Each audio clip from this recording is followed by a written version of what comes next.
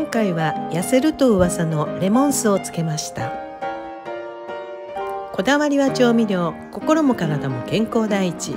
おむすびクラブにようこそ。無農薬栽培の朝どりレモンです。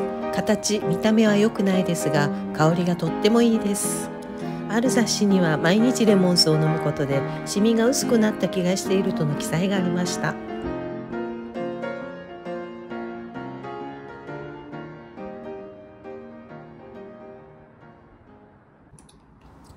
ダイエットや老化対策などたくさんのメリットがある人気のレモン酢。毎日の生活に手軽に取り入れられます。では簡単漬け方をご紹介いたします。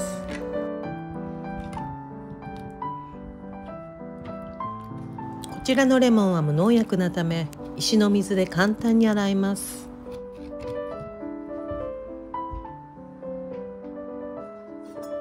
ヘタの周りに包丁の刃元を差し込みヘタを取り除きます。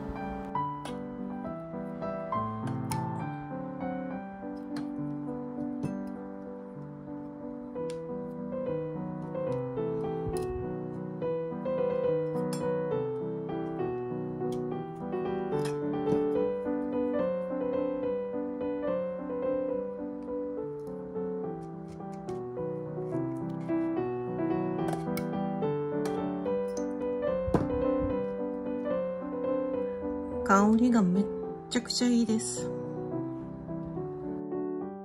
レモンの香りを構成する主な成分はリモネンやシトラールと呼ばれる成分です。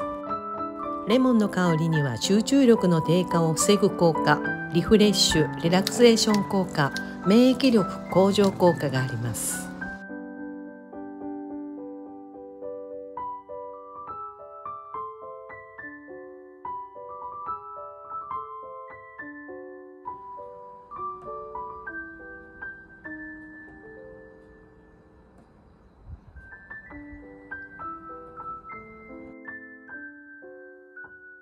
煮沸した瓶にレモンと黒砂糖交互に入れてきます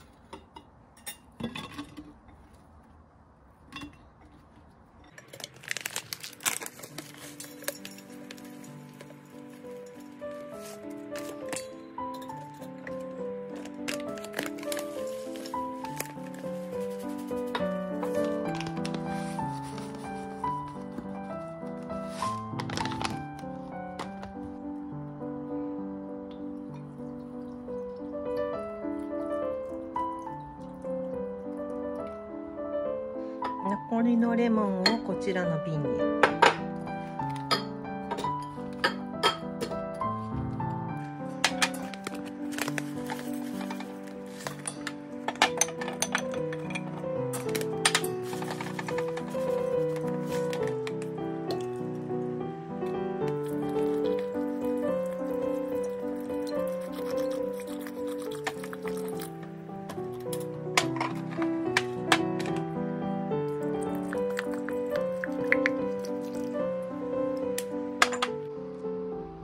レモンが浮いて空気に触れていたら毎日瓶を振ります。レモン酢を大さじ1杯 15ml 程度が1日の摂取量の目安です。水やお湯炭酸水で割って飲むのがおすすめです。ダイエット効果が高いのは水やお湯で割ってお飲みください。真っ黒黒砂糖でつけているので真っ黒です。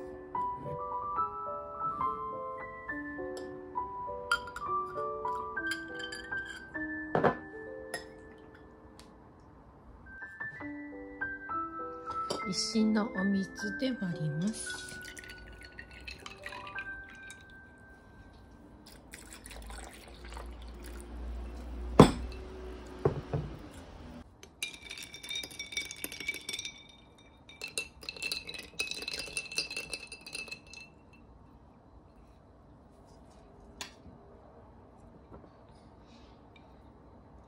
いただきます。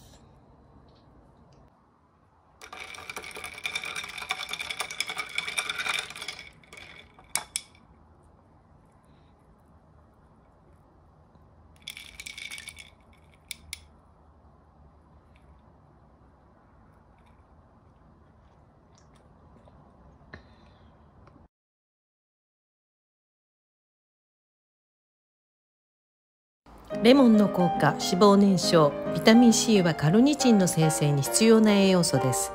カルニチンは脂肪酸をミトコンドリアに運びエネルギーとして燃焼させる役割を果たします。したがってビタミン C が不足すると脂肪燃焼効率が低下する可能性があります。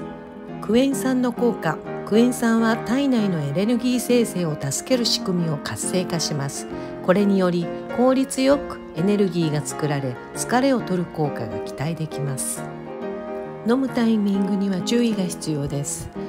酢は胃腸に刺激を与えますので空腹時の摂取を避け食事と一緒にとったり食後に飲むようにしましょう。すぐに歯磨きをするのは控えましょう。最後までご視聴ありがとうございます。おむすびクラブでは心と体の元気を応援する健康レシピを配信しております。ぜひおむすびをポチッとチャンネル登録よろしくお願いいたします。またの動画でお会いいたしましょう。